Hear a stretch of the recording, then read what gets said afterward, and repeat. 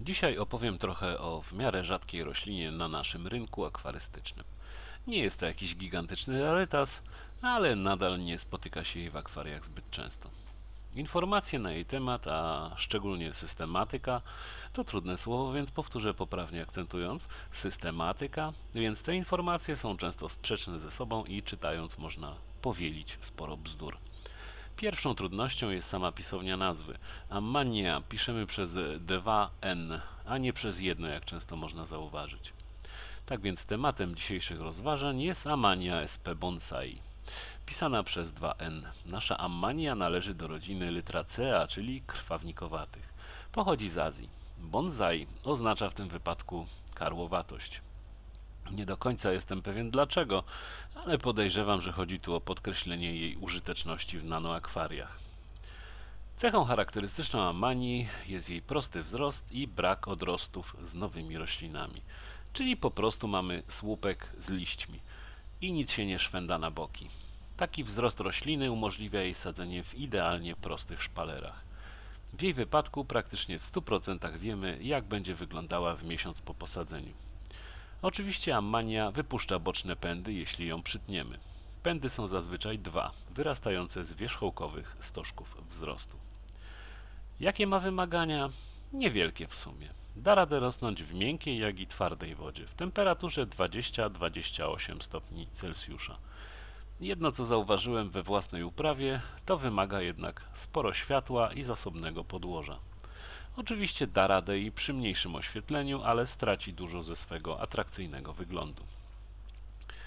Roślina według dostępnych opisów osiąga 15 cm wzrostu. U mnie osiągnęła 25 cm i spokojnie wylazła ponad taflę wody, więc ja bym do napisów na ekranie podchodził z dużą rezerwą. Ammania jest rośliną jasnozieloną. Czubki dość często przybierają czerwono-oliwkową barwę. Im lepsze światło, tym bardziej się czubki wybarwiają.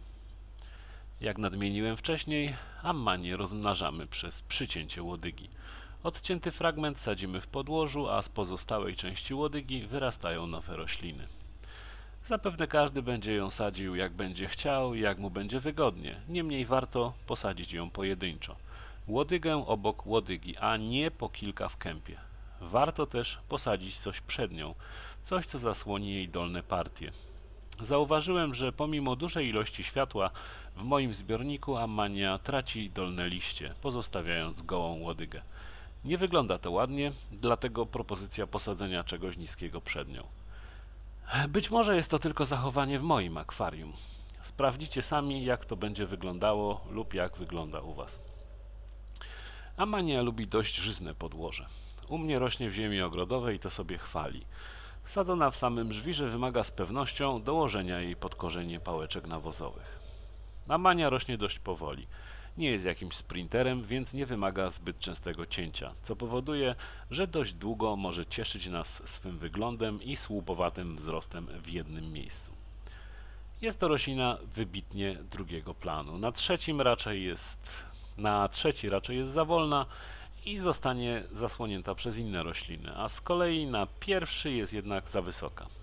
Przez jakiś krótki czas można by ją na pierwszym planie podtrzymać, ale to już zależy od tego, jak ktoś widzi wystrój własnego akwarium.